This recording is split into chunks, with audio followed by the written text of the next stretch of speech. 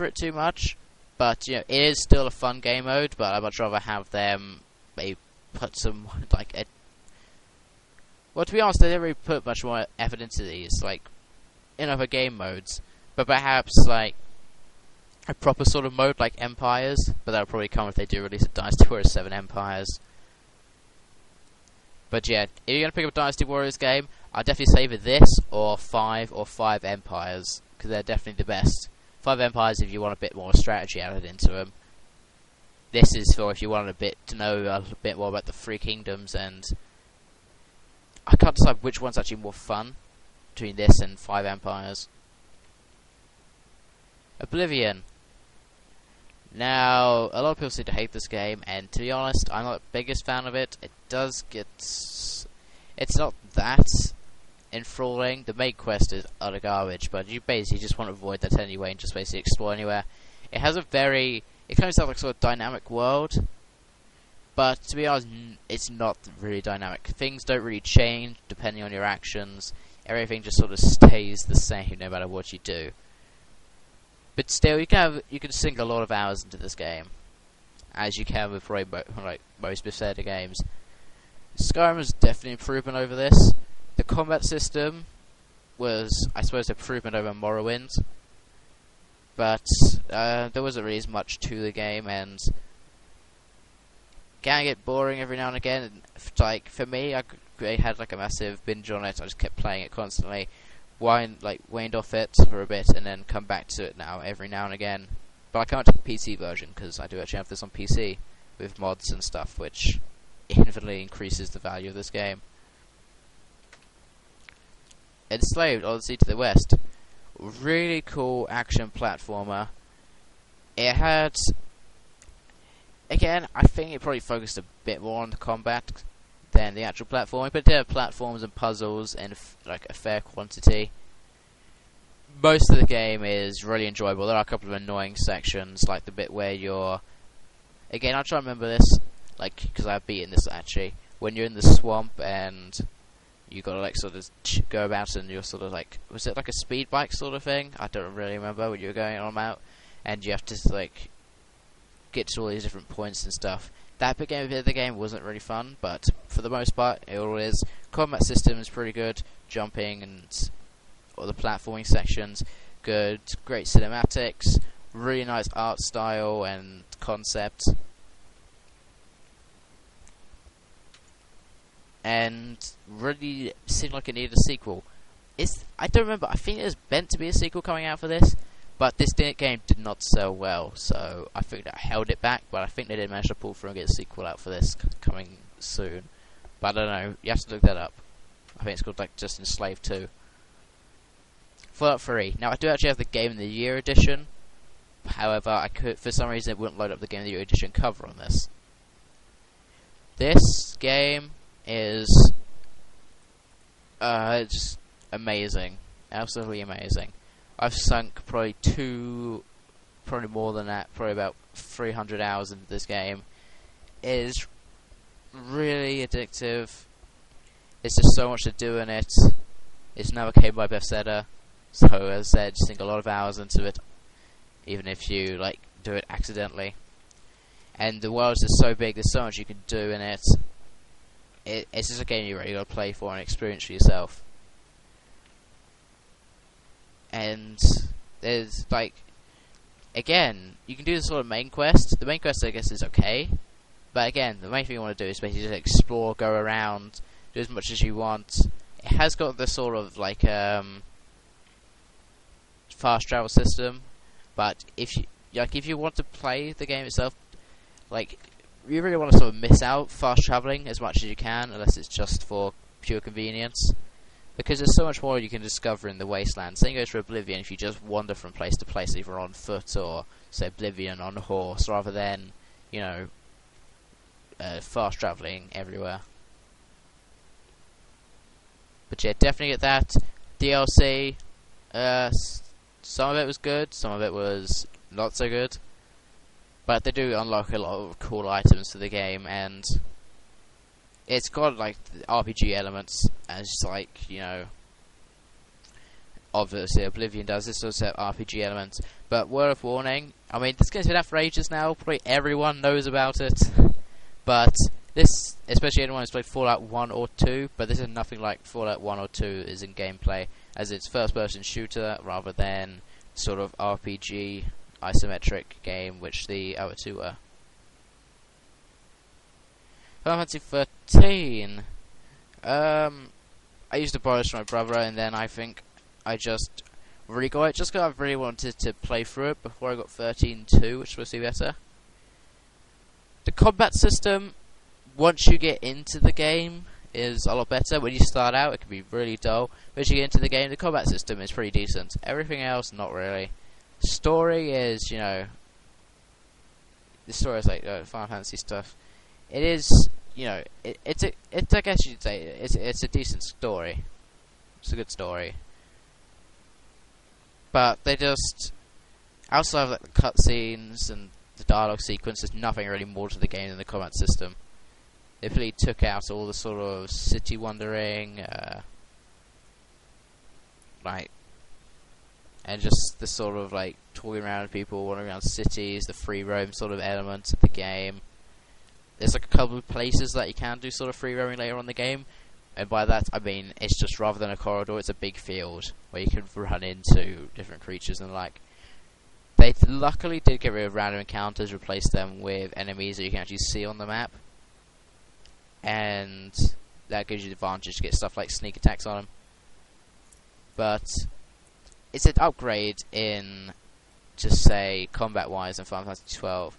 I didn't really like Final Fantasy 12's combat, and it's definitely more like the old combat systems, but it still got a sort of, sort of twist on it. And Final Fantasy 13 2 is the same sort of combat. Folklore. Haven't really played enough into this yet to really give you anything sort of detailed look on it. It's a new game. That well, it's not a new game, but it's a new game for me.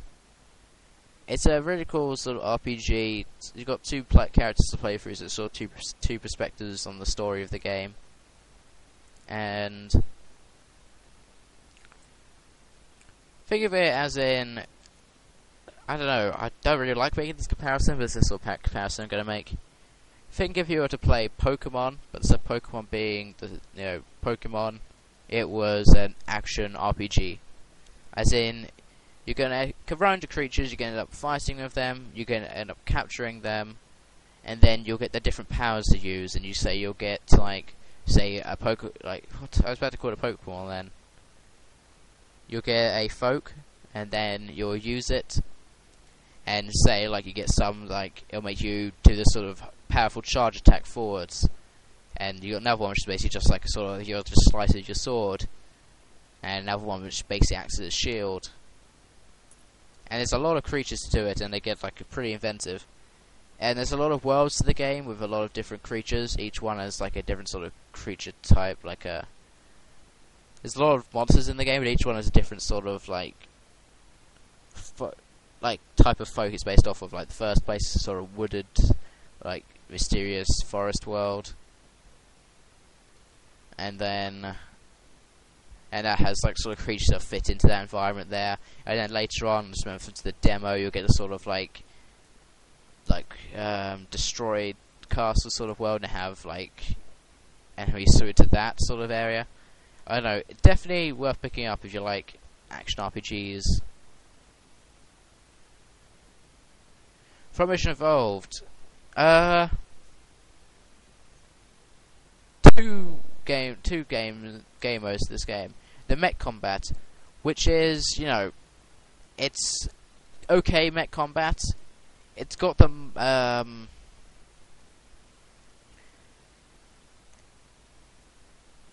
it's got the sort of like uh, mech where they can't like you know fly about and the like. Really, they can you can hover and the like, use boosts and uh, jump. So they have got sort of like more sort of Japanesey look on, you know, mechs. But you know, the mech combat is still really good if you don't mind that. If if you're looking for something like I don't know, Mech Warrior, this isn't really it. It's a third person when you're in the mech view. but and then there's a third-person shooter version part of the game, which are pretty, you know, average, perhaps below average. You, this game would be terrible if it was just those sections, but luckily the Mech Warrior bits do save the game, kind of. I'd say buy it just what I just said, Mech Warrior bits for the mech bits. I'd say get it for the mech sort of bits. I mean, only get it if you can get it sort of cheapish. Don't pay like a fortune for this game. I'll have 2 The Orange Box. This was actually, I think it was ages ago, this was basically my first sort of encounter with Half-Life 2, actually playing the game. Really good collection, really like the Half-Life 2 games and the like. I really like the Half-Life 2 games that draw on here. They do still play better on PC. And it's got Portal on there, which is basically one of the sort of launch titles of this. Well, all those three on it are all the three on the front cover, as you can see there are, and it also had other games with it.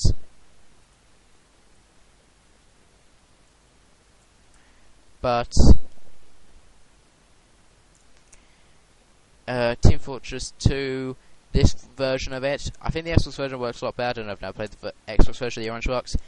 Apparently, they've really messed up the PS3 version of Team Fortress 2 and it's like literally, at least last time I checked, no games on it. So if you want to play Team Fortress 2, I mean, hell, it's free on computer now on PC, so just play that.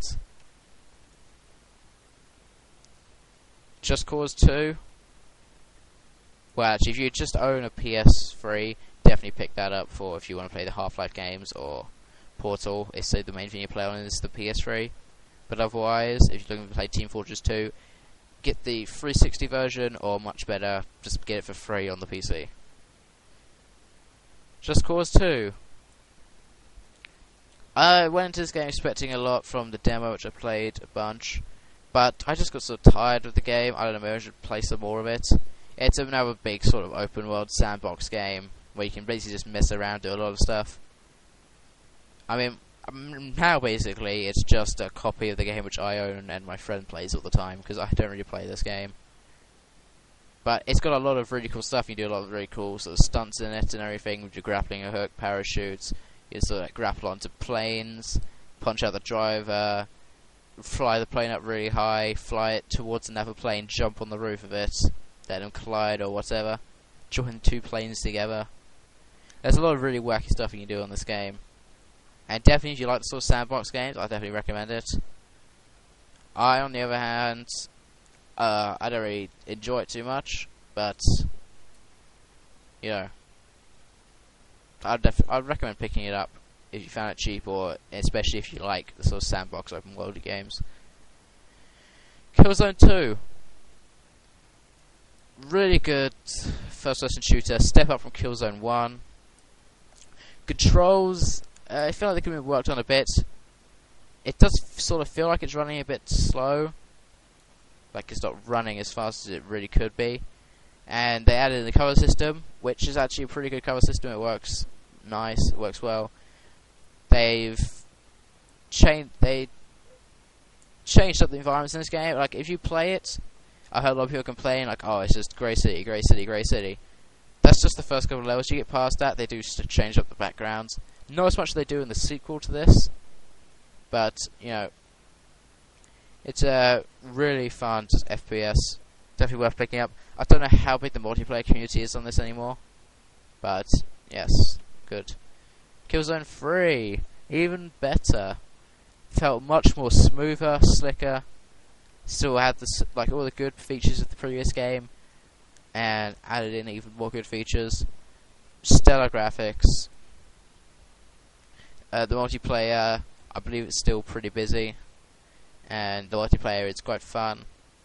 It's got bot modes in it and the like as well. Split screen co-op, which is not something you see that often, or the screens are pretty tiny, so that's kind of annoying. But yeah, the weird thing about it is that you play as one of the characters who ties in the second game, in the third game if you play two player. And actually, you know what? I believe that's what happens. I haven't actually got to the end of Killzone 2.